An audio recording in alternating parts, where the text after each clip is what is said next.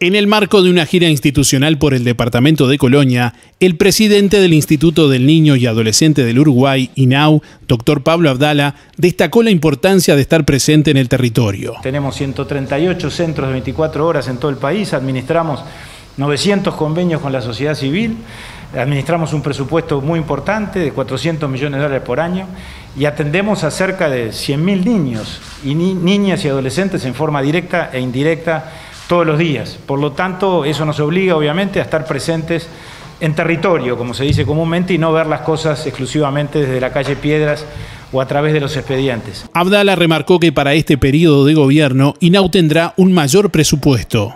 El presupuesto de INAU tuvo un incremento global de 642 millones de pesos con relación al presupuesto vigente, que si además ese presupuesto lo, desagregamos o lo abrimos en términos de analizar sus diferentes rubros, aquellos que están asociados directamente a la atención de niños y adolescentes tuvieron un incremento significativamente mayor al que yo ya dije, de más de mil millones de pesos. Consultado sobre los avances en la adopción, remarcó que hoy INAU está al día en el proceso de valoración de las familias adoptantes, al tiempo que se busca descentralizar dicho proceso en beneficio del niño. O sea, hace 10 meses teníamos un atraso de cuatro años en cuanto a la valoración de las familias adoptantes. Todo eso se ha venido superando, estamos prácticamente al día. No puede ser que el Estado demore cuatro años para definir si una familia está en condiciones de adoptar un niño o no lo está.